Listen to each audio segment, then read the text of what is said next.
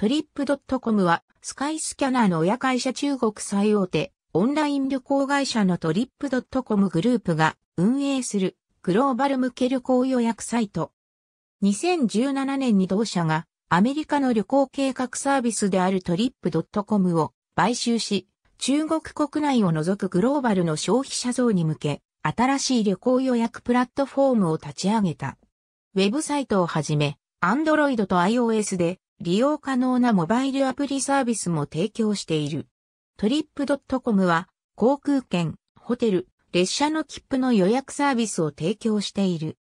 現在のウェブサイトでは、韓国語、英語、中国語、日本語、ロシア語、ドイツ語、フランス語、スペイン語、インドネシア語、マレーシア語、タイ語をはじめとする19カ国の言語サービスを提供しており、英語のページはオーストラリア、シンガポール、香港の英語など各地域別にローカライズされたバージョンが提供されている。2017年11月トリップドットコムのテスト運用開始。2018年1月ダッシュ trip.com を正式に運営開始。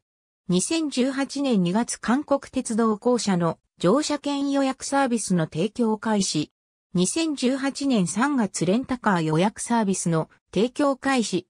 2018年3月ドイツ鉄道の乗車券予約サービスの提供開始。2018年5月三井住友カードとの提携によりトリップドットコムグローバルカード発行開始。2018年11月東京、田町にカスタマーサポートセンター開設。2018年12月日本人に馴染みのないホテル予約方法、リクエスト予約について問題があるとの報道を受け、観光庁が消費者保護の観点から注意喚起を実施、数日後、日本国内におけるリクエスト予約の販売停止を発表。2019年7月空港送迎サービスを開始。トリップドットコムでは19個と後の利用が可能。航空券予約航空券予約プラットフォームでは、格安航空券や正規割引運賃を探して、比較、予約できる。国内 LCC チケット、海外の格安飛行機チケットも予約できる。また、日系航空会社の ANA や JAL をはじめ、スターアライアンスもワンワールドも多数の航空会社と提携。日本にカスタマーサポートセンターを保有しており、日本人スタッフによるサポートあり。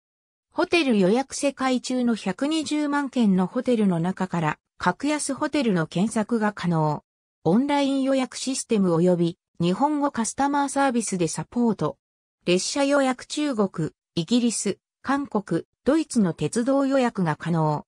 中国鉄道の切符に関しては予約後、中国国内に配送するか、中国国内の鉄道駅、または販売代理所で引き取ることになる。レンタカー予約世界6000都市のレンタカー予約が可能。その他、ポインツプラスと呼ばれるポイントサービスを行っており、会員登録を行うと、トリップドットコムを通じたホテル予約により、航空会社のマイル、またはポイントを貯めることが可能。2019年4月、航空券予約やホテルのレビュー投稿によっても、ポイントの貯まる新たなポイントサービス、トリプラスを開始した。ありがとうございます。